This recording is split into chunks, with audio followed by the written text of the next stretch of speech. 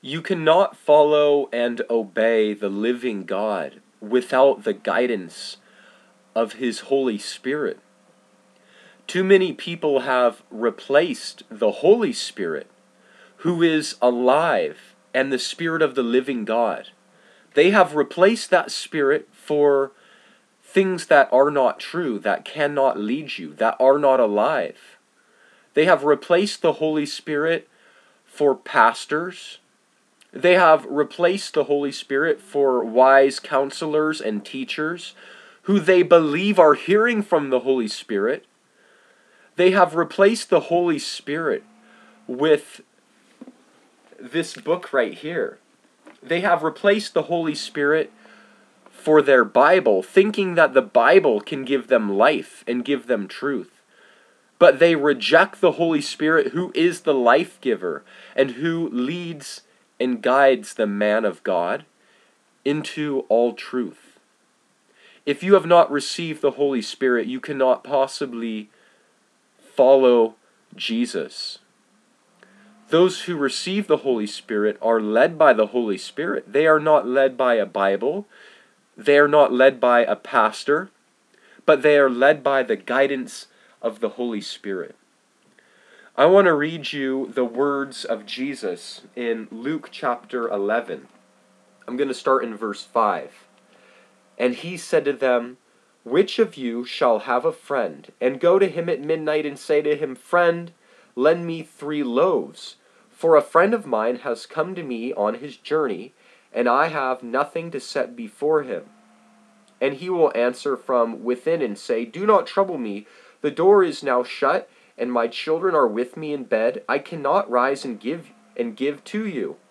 I say to you, though he will not rise and give to him because he is a friend, yet because of his persistence, he will rise and give him as many as he needs.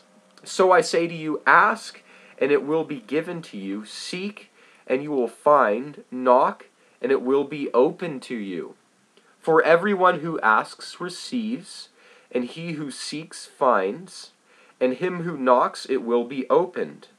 If a son asks for bread from any father among you, will he give him a stone? Or if he asks for a fish, will he give him a serpent instead of a fish?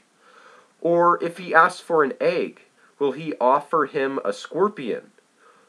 If you then, being evil, know how to give good gifts to your children, how much more will your heavenly Father give the Holy Spirit to those who ask him? We must be persistent in asking for the Holy Spirit. And Jesus promises the gift of the Holy Spirit to those who ask of him.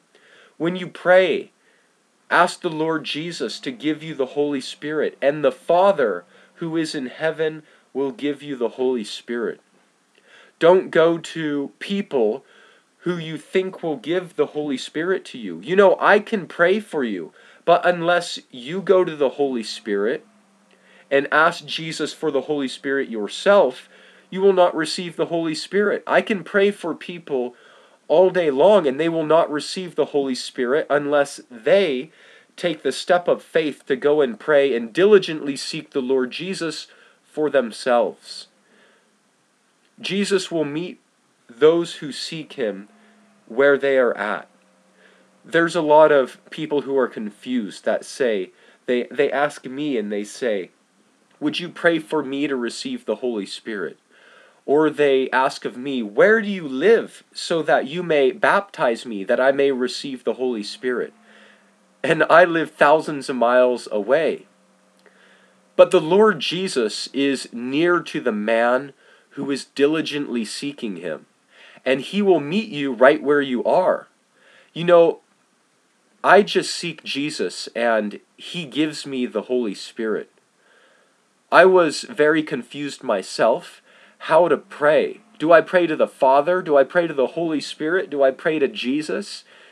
If I haven't been baptized by the right person, will I not receive the Holy Spirit? These were all the things that I was confused about. But I tell you that if you persist in seeking Jesus, He will meet you right where you are, and He will start to teach you right where you are the things about the living God. He will give you the Holy Spirit, and He will show you how to trust and obey Him.